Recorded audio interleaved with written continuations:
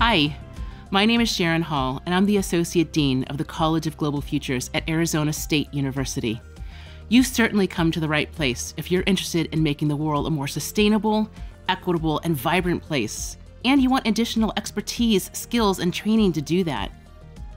We've designed our graduate level programs to meet you where you are in your own career journey, whether you're a working professional who's looking to upskill or reskill, or whether you'd like to pursue a master's degree or a PhD.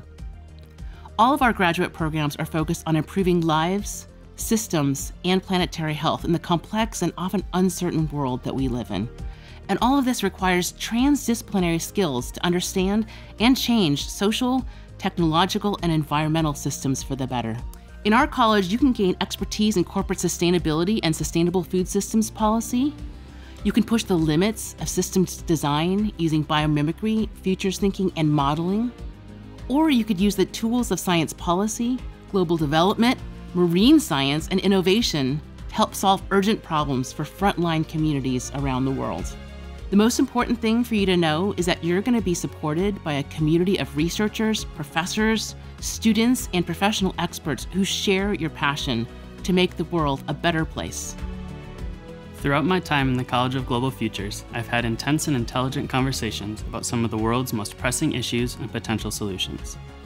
I've also had the chance to go global and ground those theories in real world situations. For example, I took a diplomacy lab course last semester that analyzed the impact of climate change in marginalized urban communities in Brazil.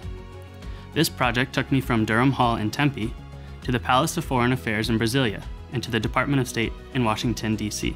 For other opportunities, I traveled to Germany, France, and Switzerland, where we compared climate hazards and risk management processes with different civil society and government actors.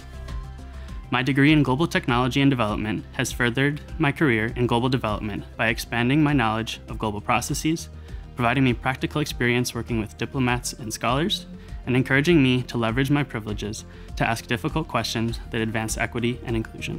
Whether it is working at a federal agency like USAID or back at the grassroots level like Peace Corps, I'm certain that my education and experiences from the College of Global Futures will help me foster innovation and inclusion in all its forms, wherever my career takes me. Our dedicated faculty and staff are excited to help you become the leaders and the doers that we really need. We'd love for you to come to the College of Global Futures and be a part of the change.